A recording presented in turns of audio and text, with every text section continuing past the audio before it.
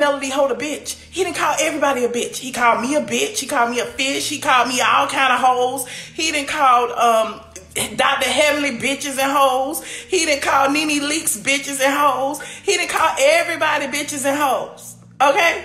So now all of a sudden he called Melody a bitch, a hoe, or whatever he said because I didn't hear it. Now all of a sudden he needs to be canceled. He ain't doing nothing different than he has done in the past. he has done, he has done nothing different. I'm just saying. Y'all tell me if I'm wrong. Right, they come to me.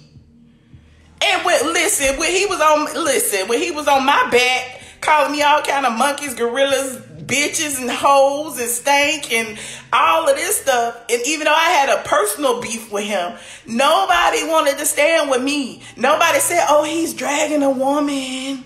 He's, am I not a woman? you know what I'm saying?